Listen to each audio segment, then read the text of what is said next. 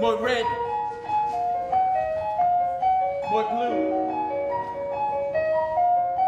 more beer.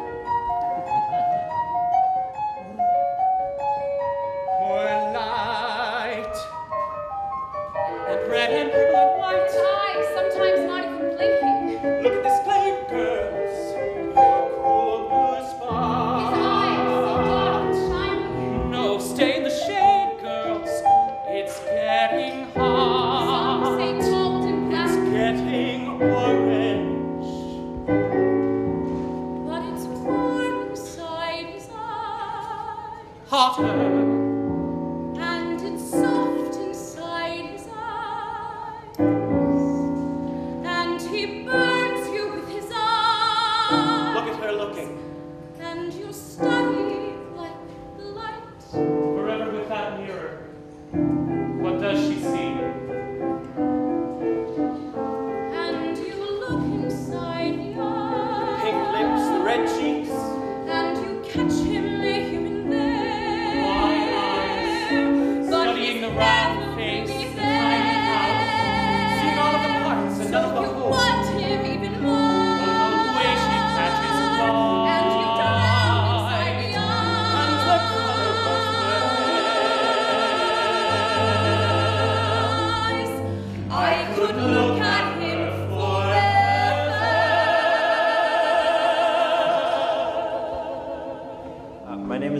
Fleegoff. I'm a sophomore in college now.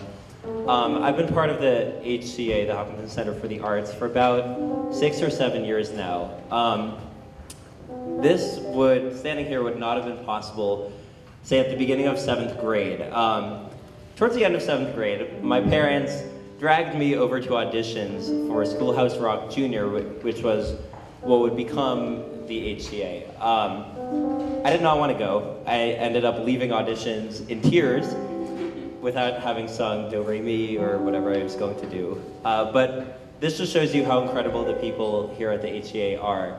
Mary Scarlotta Rowe, the director of, of that show, actually called my parents and invited me back. And I was told that I could come to a couple of rehearsals. And if I still did not like it, I could leave. Uh, so I was like, okay, fine, I'll do that. Lo and behold, I loved it. I found the most exciting, confident group of people, which is something that I really lacked.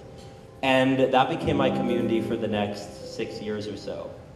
I ended up graduating Hopkins High School. I'm now a sophomore at Harvard, and I owe the place where I am today completely to the HCA. It just completely changed my outlook and how I'm able to present myself. That's why it's so important.